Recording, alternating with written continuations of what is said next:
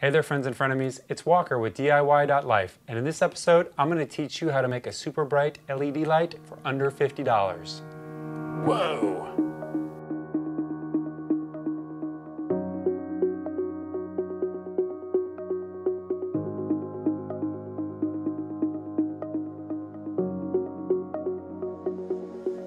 LED lights have gotten pretty affordable over the years, but maybe you forgot to pack yours to your video shoot and you're in a pinch and the only store open at 6 a.m. is the home improvement store.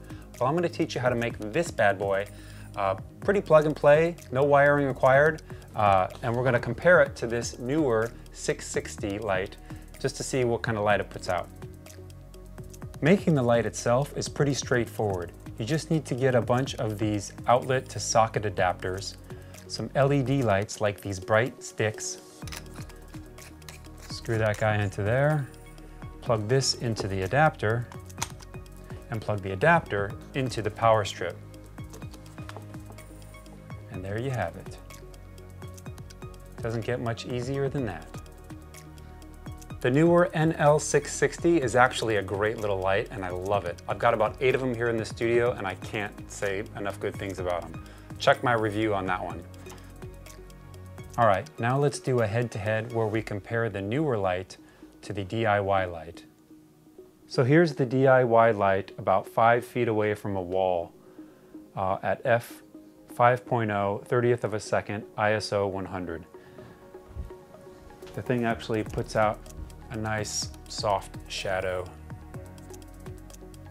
And here's the Neewer 660 light, uh, about the same color temperature, um, the Neewer light does put out nice shadows as well, maybe even a little softer, uh, but all in all, pretty close.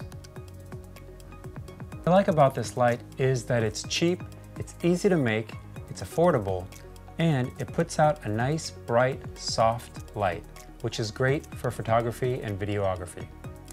Now, what I don't like about it is that you have to plug it in, so it's not portable, it doesn't run off a battery, etc. But if you're in a pinch and you need a little light, this could be a way to go. That's about all I have for this episode. If you like this video, hit that like button, subscribe to my channel, and we will see you next time.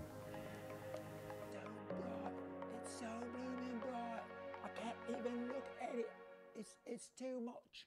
It's like, it's like, what? Why? Why is it so bright?